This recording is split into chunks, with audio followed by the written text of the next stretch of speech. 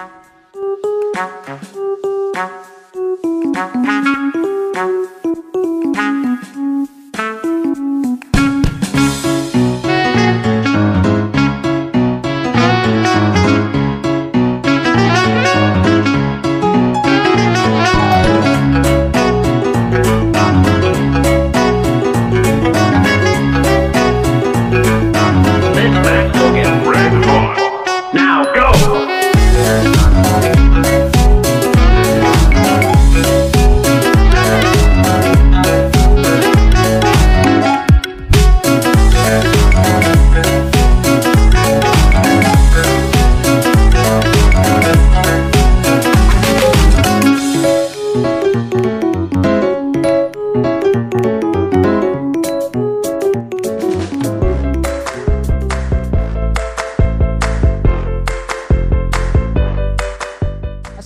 Warahmatullahi wabarakatuh. Jumpa lagi di Power Auto TV bersama Bang Dival dan seluruh jajaran tim Power Auto. Langsung dari Ocean Park BSD, Bang Dival mau nawarin unit-unit mobil bekas berkualitas lolos inspeksi, siap pakai. Cocok nih buat teman-teman yang lagi berniat cari mobil di bulan ini. Karena setiap pembelian mobil bekas di Power Auto banyak bonusnya. Yang pertama, kalian berhak bawa pulang sepeda lipat tanpa diundi. Syarat dan ketentuan berlaku. Untuk pembelian mobil di bawah 1 kali 48 jam atau kurang dari dua hari setelah video tayang, bawa pulang tuh sepedanya. Bonus berikutnya, teman-teman dapat nano ceramic coating premium multilayer senilai 5 juta, calon mobil premium senilai 1 juta, dapat fogging antibakterial senilai 500 ribu dua kali pada saat mobil pertama kali datang di showroom kita di fogging dan pada saat serah terima mobil di fogging lagi. Jadi mobilnya steril, bersih total. Teman-teman juga dapat free jasa servis dan ganti oli dan pastinya dapat garansi mesin dan transmisi 30 hari. Nah, ini nih yang paling penting.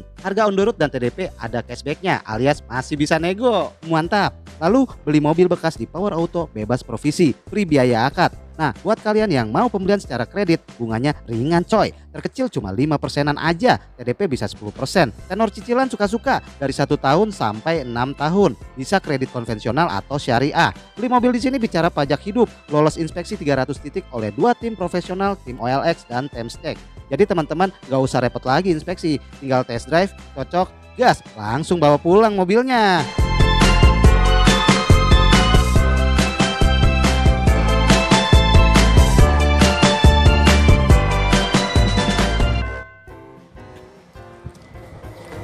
Ini dia Honda Mobilio e-CVT tahun 2017. Langsung aja kita sidak tipis-tipis mobilnya. Oke, langsung dari bagian depan nih. Lampunya ya masih tipe E ya, bukan RS. Ini masih menggunakan lampu halogen biasa ya. Eh, semua lampunya juga masih bohlam, lampu sennya bohlam dan modelnya udah facelift seperti ini. Lampu fog lamp juga udah ada, ya masih halogen juga. Nah, ini grillnya aksen chrome. Terus kondisinya ya, ah, dari bumper, nah ini bracket bumpernya masih rapet ya, masih presisi banget dan di sini hampir tidak ada spet-spetan sama sekali. Nih belum ditemukan spet-spetan di bagian bawah sini, mulus-mulus aja, nggak ada yang cacat atau dekok titik. Bagian kap mesin juga mulus, masih ngaleng, aman, fender juga aman, kaca juga aman, nggak ada yang retak setitik ya teman-teman. Dan di bagian sini aman ya, wah cakep nih, habis dipoles seperti ini. Oke. Nggak ada spet-spetan halus. Langsung aja kita cek kelistrikannya nih teman-teman nih. Ho. Nah kita mulai dari lampu-lampu. Set set set. Hidup ya teman-teman ya. Lampu jauh. Oke lampu sen sebelah kanan lampu sen kiri lampu hazard. Oke aman klakson. Oke mantap. Wiper. Hmm wiper hidup ya kecerut-kecurutan wah kecerut-kecurutannya juga hidup lancar teman-teman. Siap pakai itu. Siap dipakai mudik. Langsung aja kita beralih ke bagian samping nih bagian samping sebelah kanan ya. Oke seperti yang teman-teman lihat ini mulus banget nggak ada cacat-cacat. Ini masih orisinil banget belum ada yang dirubah. Oke kita lihat profil bannya ya. Nah dia memakai velg OEM dari Honda ya. Masih orisinil banget teman-teman. Bereksan silver monoton empat baut roda pengereman depan cakram dan belakang masih tromol teman-teman. Dan dibalut ban Dunlop berukuran 185 per 65 ring 15 teman-teman. Yang pasti kondisi ban juga sudah dicek keempat-empatnya. Masih layak pakai masih gondrong 95% wah mantap ya. Warnanya silver catnya juga masih mulus. Oke sip peredaman pintu-pintu. Wah masih tebel karet-karetnya masih bagus teman-teman ya. Nggak bunyi peng. Nah, masih blub gitu teman-teman. Oke bagian sini wah masih ngaleng nggak ada spet-spetan atasnya juga masih mulus nggak ada karat ya. Biasanya paling atas tuh suka ada karat setitik akibat ya parkir di bawah pohon mangga mungkin ketetesan getah mangga atau bekas ee burung. Itu gak bisa karat tuh kalau nggak buru-buru dibersihin teman-teman. Tapi ini bagian atasnya masih aman-aman aja. Oke di bagian tulang-tulang nih paling penting nih. Nah ini bagian yang susah dibetulin kalau udah penyok teman-teman. Dan biayanya lumayan lebih mahal itu teman-teman ya. Oke bagian tulang-tulang sini aman dan pengaturan spion dia sudah elektrik tapi pelipatannya belum otomatis. Masih pelipatan manual biasa. Oke yuk kita lihat ke bagian sebelah kiri. Oke sebelah kiri. Aman ya? Nggak ada bekas dempul-dempulan. Alhamdulillah bukan bekas tabrak teman-teman. Masih mantap tulang-tulang juga masih oke mulus nggak ada yang penyok nggak ada lecet-lecet teman-teman. Redaman pintu sebelah kiri. Uh masih bub bub karet-karetnya masih bagus nih karet redamnya. Sip mantap. Nah ini dia bagian belakangnya teman-teman. Oke kan? Sip masih gemoy masih semok gitu ya. Tapi kita cek kelistrikannya juga nih di bagian belakang. Lampu-lampu ya teman-teman ya. Nah, lampu rem, lampu mundur, oke, wiper belakang, kecerut-kecerutan belakang. Masih aktif teman-teman. Sampai lampu sennya pun juga masih normal teman-teman. Nah di belakang sini fitur-fiturnya ya walaupun nggak ada spoiler ya ini bagian belakangnya seperti ini aja walaupun nggak ada spoiler ini bodinya juga udah menyerupai spoiler teman-teman model ducktail begitu ya kalau dilihat dari samping begitu.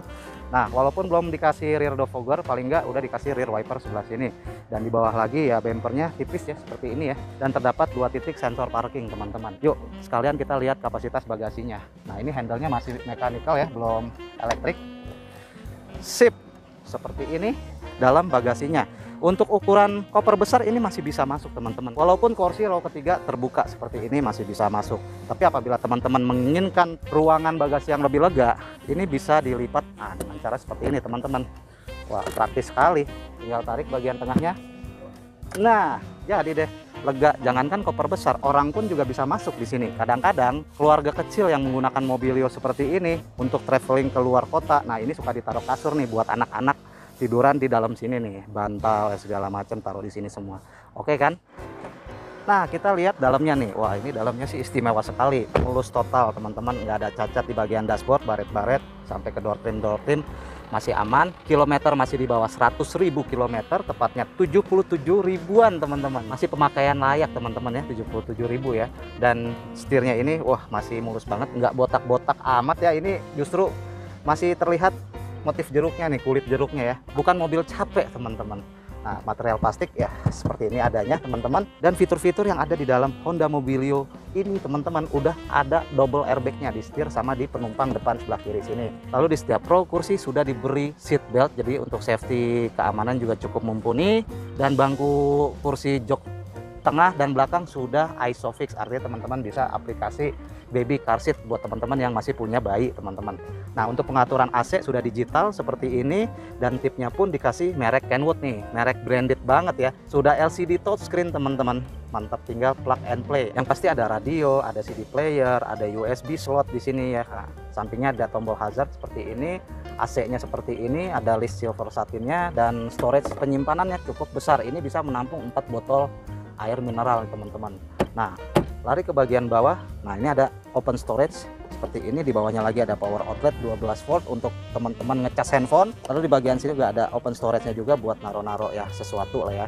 Dan ada dua cup holder sini. Nah ini tuas transmisi CVT nya seperti ini. Posisinya ya seperti biasa ya PRNDSL nah, seperti itu teman-teman. Dan ini setirnya palang tiga sudah diberi switch steering seperti ini untuk pengaturan head unit. Nah ini cluster mattress seperti ini nih cukup mudah dibaca saat berkendara. Ini gede-gede nah dalam keadaan malam hari ini ada action birunya nih. Sip mantap ya. Dan di sebelah sini ada tempat penyimpanan kecil nih buat naruh-naruh koin teman-teman. Tuas bensinnya ada di bawah jok juga di sebelah sini nih part brake masih model tarik seperti ini di belakang part brake ada tempat penyimpanan. Nah di bagian atas sun visornya sebelah supir polos aja biasa dan di sebelah penumpang depan sun visornya cuma dikasih vanity mirror. Nah, lampu bacanya ada di tengah sini ya teman-teman ya. Masih nyala kelistrikan masih bagus. Power window. Nah ini penting banget nih power window di keempat jendela. Aktif semua ya yang di bagian supir auto ya up and down yang belakang masih hidup juga. Yes yang di sebelah depan juga masih hidup ya teman-teman oke lanjut ke bagian row kedua nih teman-teman nih. Nah row kedua ini posisi nyaman. Karena di sini udah dikasih double blower nih teman-teman. Ada tiga level percepatan. Dan ini AC nya normal freonnya masih bagus. Evaporatornya juga masih bagus. Ini masih dingin banget nih. Teman-teman asik loh di sini. Nah ini untuk legroom ya setinggi badan Bang Dival 170 cm ini legroomnya wah lega banget. Dan ini kursi row keduanya udah di setting paling ah nah paling mentok segini ya teman-teman ya. Asik nih. Nah kalau mau berbagi bagian belakang Nah segini. Dan balutan joknya nih. Wah ini nih masih orisinil nih Masih bawaan dari Honda nih. Masih kinyis-kinyis Masih bersih nggak ada yang robek-robek. Nah tapi alangkah baiknya kalau teman-teman minat sama unit yang satu ini Nah ini disarungin aja Dikasih cover biar tetap bersih teman-teman. Nah selebihnya ada set back pocket di sini Dan ada tempat penyimpanan juga Di setiap pintunya ya. Ada cup holder dan tempat penyimpanan nih mantap. Nah untuk naik ke row ketiga Teman-teman cukup lipat kursinya seperti ini Nah jadi one touch tumble ya Oke, kita rebahin dulu bangku belakang. Sip. Nah, udah deh, tinggal masuk aja deh. Wah, asik, gampang, mudah diakses. Nah, yang tadi Bang Dival udah setting nih bangku tengahnya nih. Tuh ya, nggak mentok ya teman-teman ya. Masih bersisa empat jari lah, lumayan lega nih. Ini feelnya ya memang kalau untuk setinggi Bang Dival ya. Nah, ini agak direbahin lagi segini ya, paling rebah ya. Duduk di row ketiga di dalam mobilio ini untuk orang dewasa ini ya masih ditolerir lah masih enak gitu teman-teman. Walaupun posisi kursinya itu nggak menopang sampai full ke seluruh paha ya. Tapi ini asik sih oke. Visibilitas di sini juga oke jendelanya lumayan gede. Nah, di belakang sini juga dikasih tempat penyimpanan nih di kanan dan di sebelah kiri. Dan juga teman-teman duduk di sini dapat seat belt. Nah uh asik loh kalau supirnya ugal ya. Jadi ya insya Allah safety. Nah ini ada seat juga di bagian sini nih untuk uh, pasang baby car seat ya teman-teman. Nah jadi gimana teman-teman? Minat gak minat gak aduh mobilnya sehat banget. Terima pajak hidup teman-teman. Nah sekarang harganya nih. Harganya dibuka 155 jutaan saja. Kalau teman-teman mau beli secara kredit di sini bisa pakai kredit konvensional ataupun syariah. Suka-suka teman mau pakai yang mana silahkan. Nah untuk simulasi kredit teman-teman bisa kasih DP 38 juta dengan cicilan 3 juta 600-an kali 4 tahun atau 47 bulan. Barangnya bagus, unitnya sehat, mesinnya nggak ada rembes-rembes oli, sudah lolos inspeksi 300 titik oleh tim profesional, tim OLX dan Temps Check. Remap pun sudah aman, nggak ada yang error, nggak ada sensor-sensor yang malfungsi. Pokoknya siap pakai teman-teman. So, tunggu apa lagi? Langsung aja main ke Power Auto.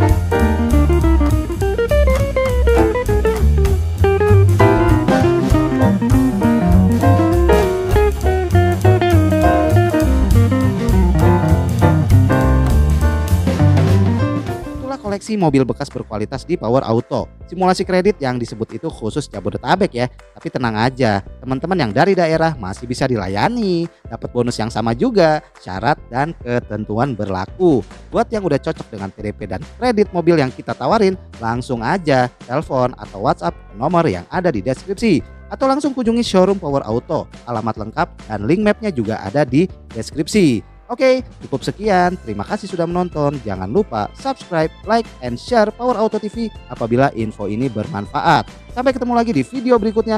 Wassalamualaikum warahmatullahi wabarakatuh.